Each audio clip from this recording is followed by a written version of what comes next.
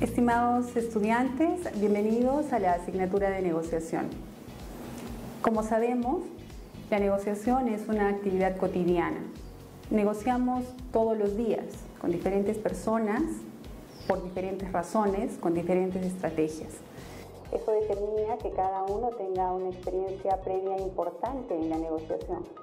No obstante, con la finalidad de lograr mejores resultados, se han estudiado una serie de estrategias y técnicas de negociación que esperamos analizar y compartir durante esta asignatura. En el primer módulo revisaremos los conceptos fundamentales de la negociación con la finalidad de establecer la importancia que tiene la, la preparación previa a la negociación. En el segundo y tercer módulo estudiaremos las diferentes estrategias y técnicas que se presentan para dos modalidades de negociación, la negociación distributiva y la negociación integradora. Y finalmente, en el cuarto módulo, vamos a analizar algunos aspectos éticos vinculados a la negociación.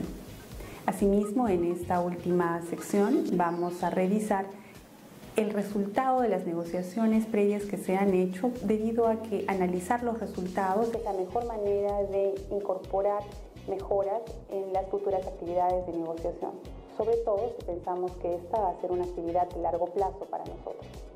La invitación es que durante esta asignatura todos podamos enriquecernos con la valiosa experiencia que cada uno trae.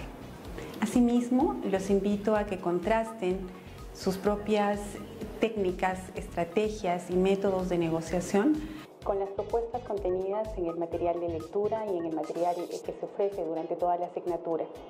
Esta es la mejor manera de, de, identificar nuestras fortalezas y oportunidades de mejora como negociadores. Muchas gracias por vuestra participación y esperamos tener una asignatura comprometida y con mucha experiencia. Gracias.